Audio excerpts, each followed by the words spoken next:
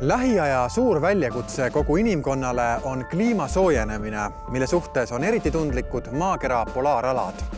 millisena näeb välja maailm inimtühjalt ja jäiselt põhjapooluselt?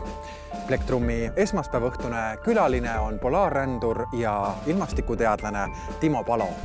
talvest, eneseületamisest ja maakera tulevikust vestleme esmaspäeva õhtul kell kakskümmend üks kolmkümmend ETV kahes